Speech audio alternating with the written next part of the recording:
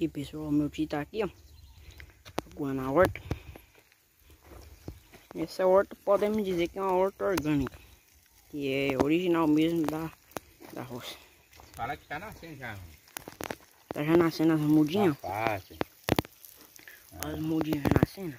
A cenoura, a cebola, tudo tá Aqui nascendo. já tem cebola também, ó. Olha. Daqui 70 dias já tem, já tem muita coisa. Tem muita verdura aqui pra nós. Aí pessoal.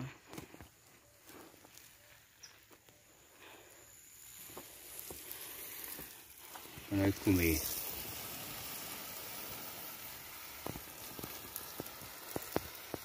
Aí já uma facinha, uma mudinha de alface.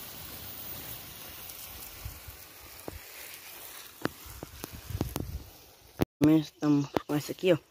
Aqui tem um pé de tomate, pé de cebola. É, esse pé aqui é pé de erva do mato mesmo. Tomate, pé de, de couve. Um top.